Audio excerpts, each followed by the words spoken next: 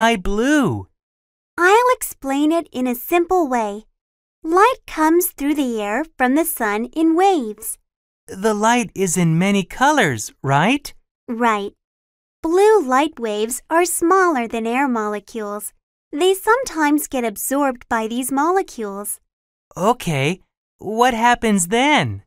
Then the blue light waves scatter in many directions. Your eyes see this blue light from above you after it leaves the air molecules. So that is what makes the sky blue. What happens to the other colors? They reflect off the things that they hit.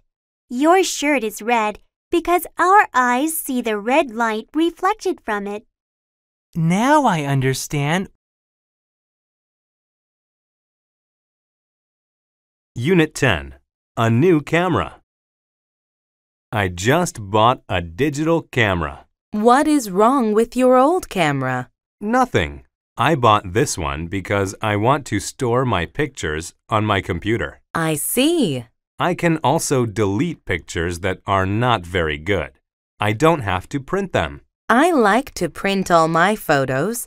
That's why I like the old cameras. Oh, you can print digital photos too. Many shops will print them for you. Really? Yes, you can even buy a good printer and do it from home. That seems easy. How do you store these digital pictures? You can store the pictures on your computer, but you might run out of space. I save all the pictures I like on compact discs. You can store more than 700 photos on one CD. Great! Maybe I should get a digital camera too. Should get a digital camera too.